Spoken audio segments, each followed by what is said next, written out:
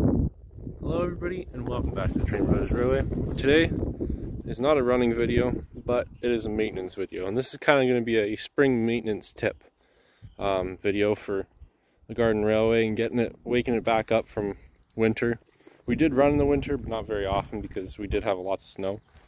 But we started putting out some of the buildings just to kind of get the creativity going again. But we put some of the buildings out around here and we're just kind of doing the spring maintenance where we're trying to neaten everything up because you know as creatures come in and out through winter you can see they like to disturb all the mulch and uh, throw it all over the ballast. But that's not a crazy big deal because I'll show you a little bit later. We have like a little hand broom and usually it takes care of it pretty easily.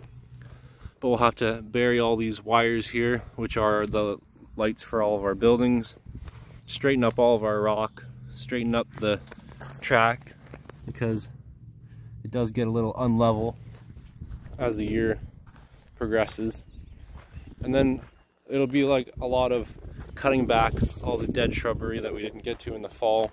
I usually carry a five gallon pail around with me just to put all the leaves in and to collect everything because in here especially, I'll pull back a little bit, you can see it would just kind of collect all in here. We'll have to trim back some of this guy because it got ahead of us this year. But you can kind of see this wet spot. This was just all those leaves in that five gallon pail.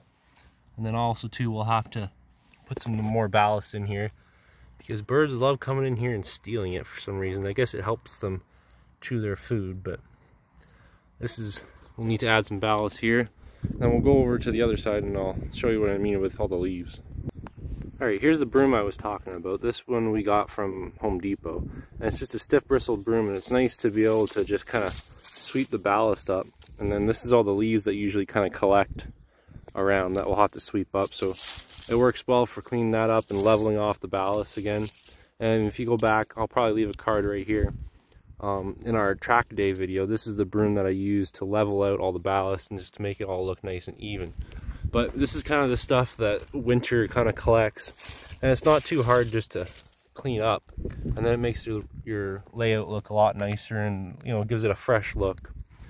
Along with picking out all the other foreign debris around. One other thing we do that's kind of not 100% related to the layout, but we clean up all the edging because all the mulch tends to fall in like the little gutter we have here. Especially once all the wind comes and blows it all in here.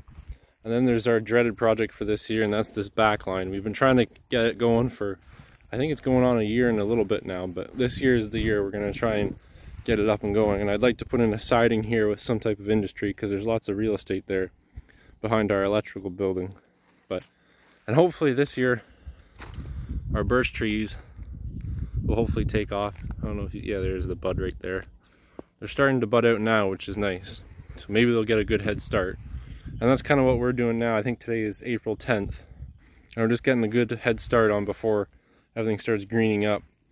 We're just gonna try and clean it up and get rid of all the leaves and debris because out here things blow around a lot. So we're gonna get back to work and uh, we'll check back up with you guys later. All right, well, it's the end of the day now and we've cleaned up everything. We kind of did a 10 second tidy of the layout. We added some ballast there. Hopefully when it rains that should all just color match. It's just because it's dusty. And then over here we cleaned this up. And then I reballast in the tunnel here. That's all reballast now. And then when you're going through the leaves, be careful because sometimes you might lose some pieces and not even know it. This is a handrail. I'm pretty sure off of our switcher. So we'll have to go take a look at that and see where that ended up. But if you stand if I stand back here we trim the trees up a little bit to keep that nice and neat. And then the pond we got that all cleaned up uh, a few days earlier but that's looking pretty good. So now we just move on. We've reburied all the wires in there. And then I was curious about these switch motors because I want to get these up and running this year. And the other one worked but this one didn't because it got too corroded. If you've ever seen inside of one of these it's all sticking together because it's a magnet but this little guy is sits in here. And this just got too corroded inside, so it doesn't have good conductivity. But you hook up your, I hooked up 9 volts DC and it threw the switch just fine on the other one. And so I'll have to take some sandpaper and clean this up. And then this guy will go back in and this gear is what turns in here. And then the piece is somewhere, it's right here. It turns these gears here and this slides back and forth, which throws the switch each way. So for now, I'll just put this cover back on, screw the screws in, then I'll bring this inside and clean it up. But I'll go over and show you the uh, other side. So I dug up this wire here because I had just buried it. I tested it. I found this wire here because this wire runs right back to our little electrical shack. So I put power to it. And then if you touch the wires, I don't know if I can get this one-handed or if it's still even plugged in, it should throw the switch. And if I can touch them, nope, there's no power to it.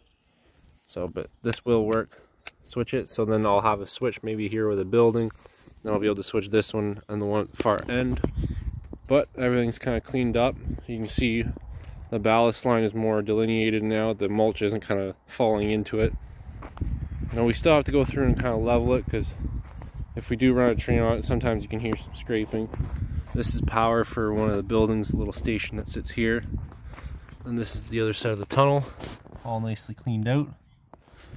And then one other thing too we did was over here. We cleaned up the edge and re-edged the side of the garden. If we remulch this year, all this will get covered so you won't see it. But again, cleaned up the ballast. Just made everything look a little nicer and a little fresher for when we start running trains here. And I think it'll be uh, a good season running trains. So until next time, take care, take it easy, and uh, keep an eye on this supervisor. He's a shifty little guy.